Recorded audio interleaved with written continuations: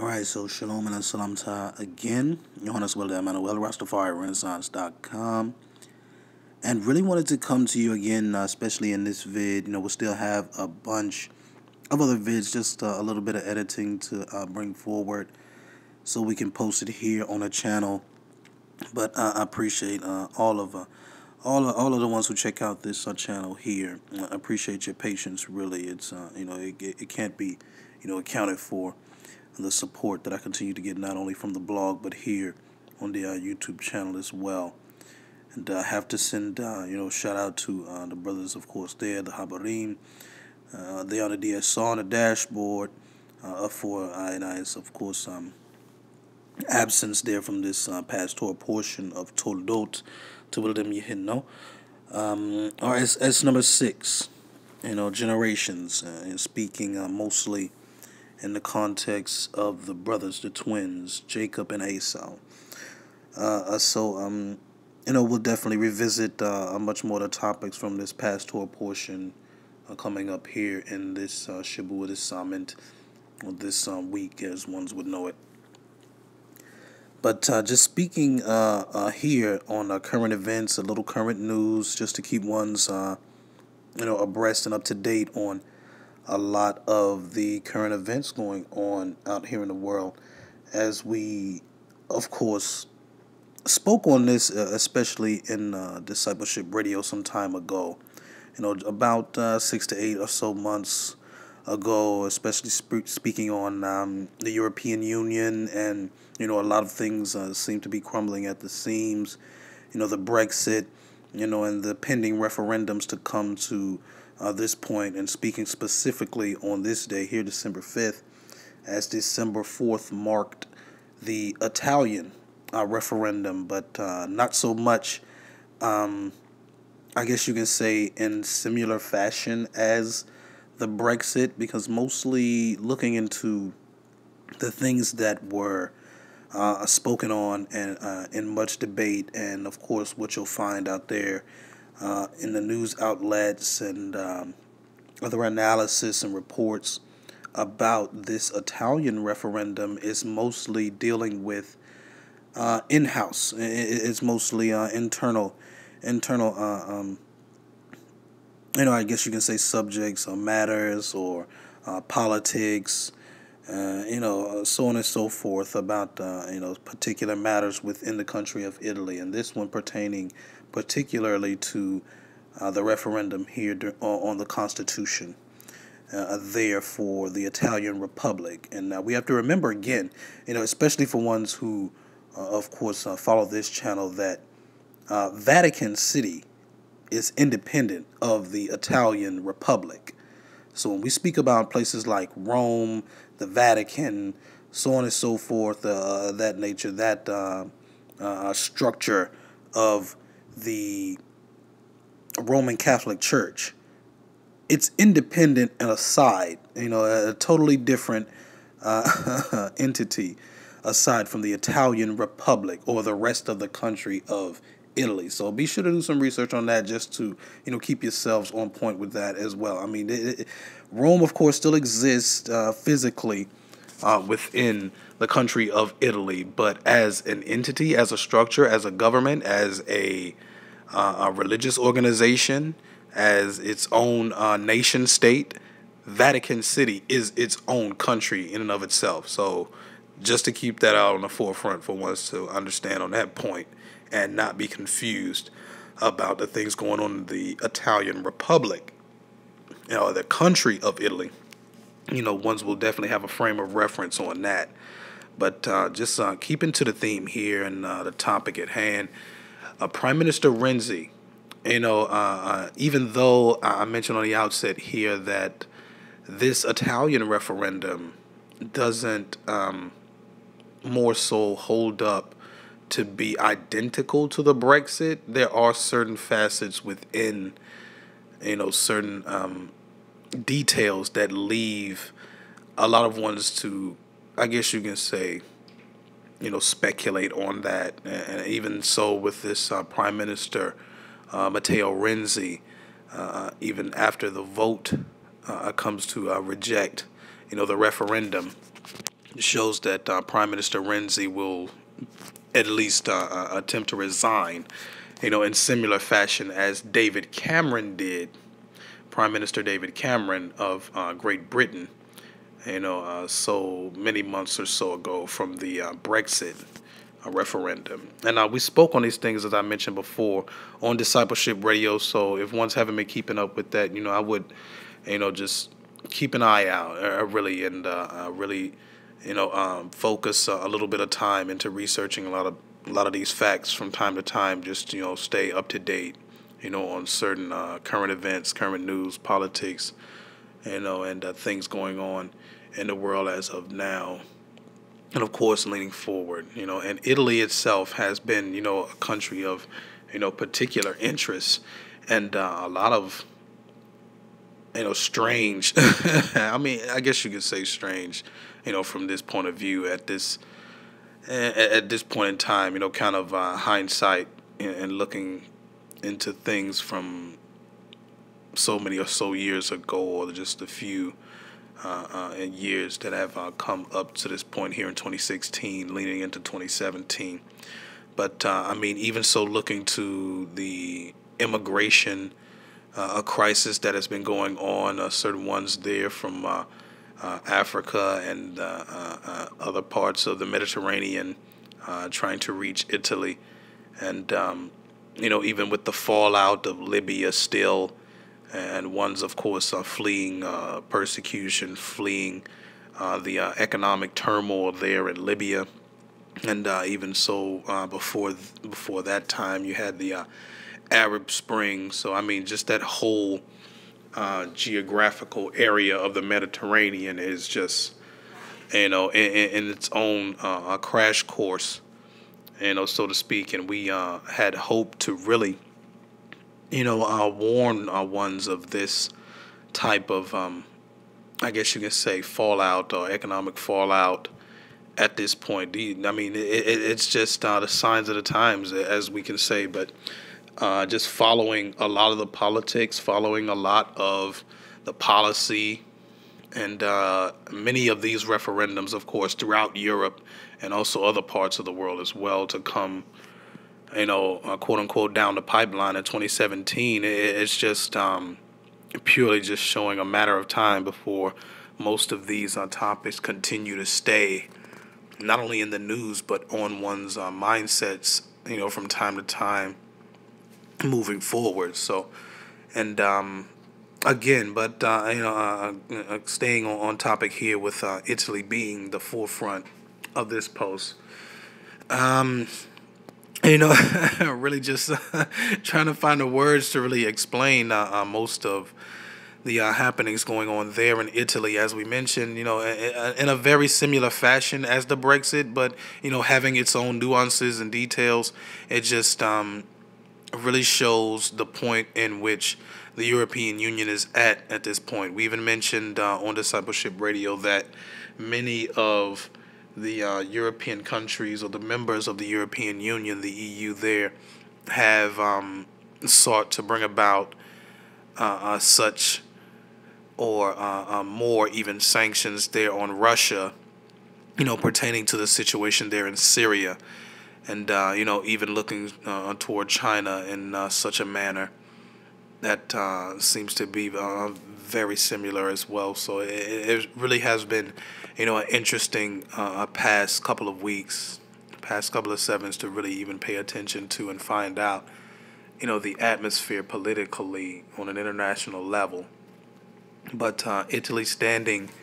at a very critical moment. We even are even thinking of points in which you know, there is a, an, a government official, you know, a, um, you know, a sister, a, a black woman who's actually one in uh, very um,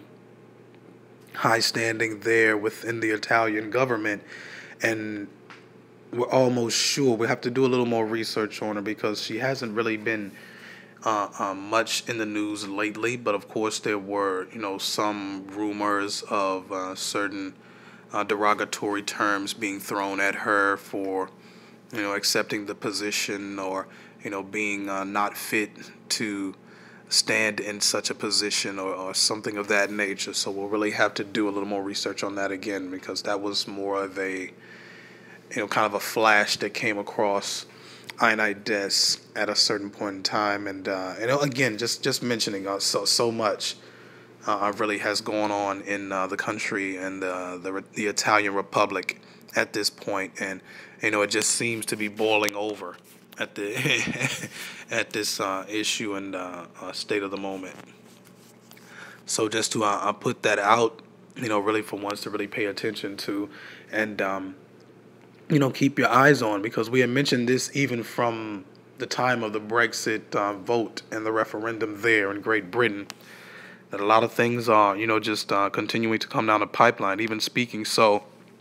here out in the world, as um, ones would know, um, I really try to keep a low profile a lot of times when uh, just walking out here on my day to day.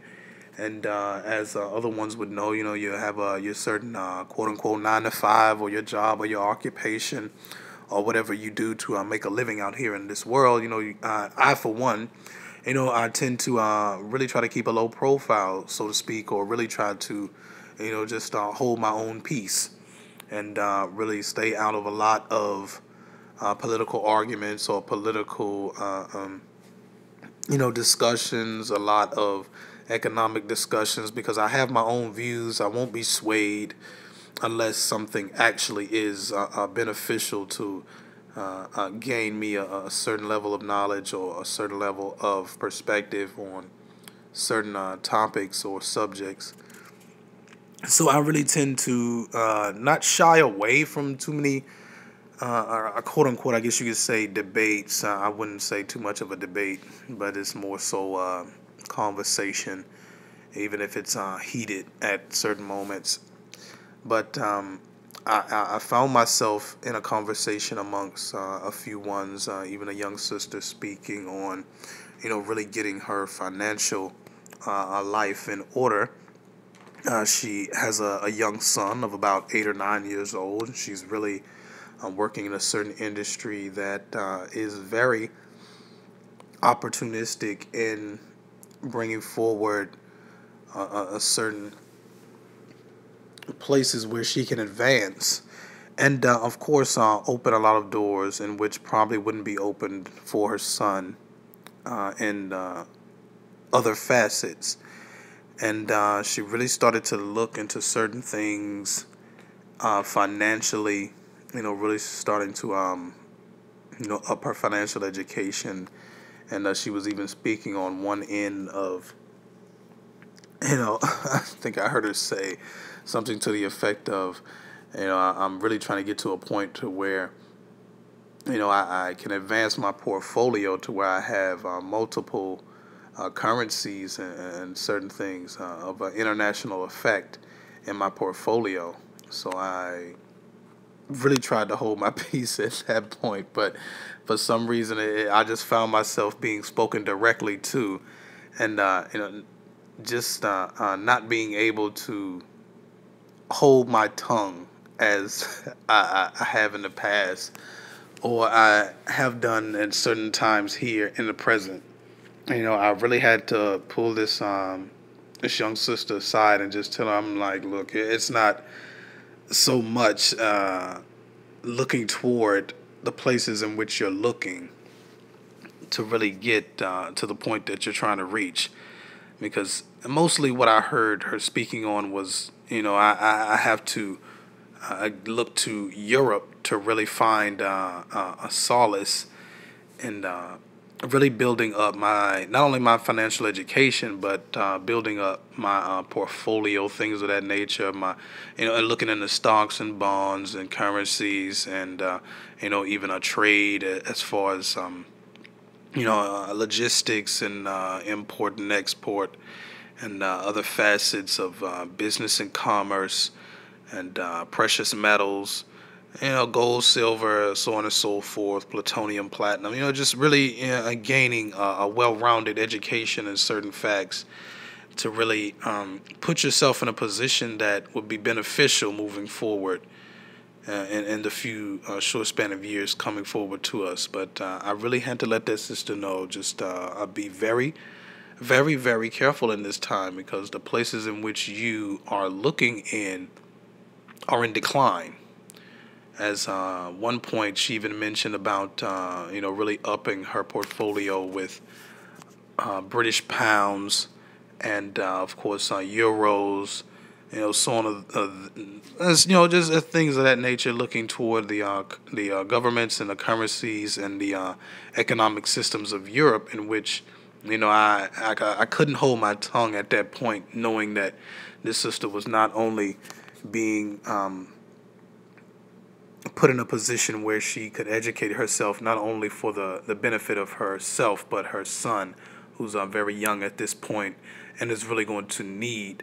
those type of uh, avenues and those type of um, points in which he could reach to, especially coming up in the near future with uh, the tides turning in which they are. I, for some reason, just couldn't hold my tongue at this point, so I had to tell her like, sister, no, just really, let's, let's really don't uh, look to that for that to be uh, a safe haven for you. Yeah, the European Union at this point is a house of cards in itself. You know, I have to big up my brother again, uh, Wyndham Yana, for just uh, noticing that uh, point and that uh, analogy which I put forward because it, it really just fits. It, it fits in, in in so many ways. The shoe just uh, fits the situation as of now, whereas the EU is really just uh, a huff and a puff away, you know, from uh, complete dismantlement. Here we have uh, just from, you know, uh, I say approximately uh, six to eight months ago, here we had the Great British exit, or the Brexit, as ones are coining it, and the British referendum, in which even from that point, that day, which we found out that Britain had actually voted to leave the European Union, but which is still pending uh, via the parliament there in uh, Great Britain. We have Italy at this point, the Italian Republic, voting in a uh, Italian referendum on changes or admittances to their constitution, in which, of course, will also and more than likely lead to an Italian exit out of the European Union. And uh, just remembering these themes, uh, just from such a time there, from the uh, beginning talks of the uh, British exit or the Brexit. You know, Scotland, of course, were in talks of this, and uh, Ireland, uh, of course, as well. France and Spain, you know, Portugal, other countries, of course, in the uh, 27 to 28 or 29 uh, member state.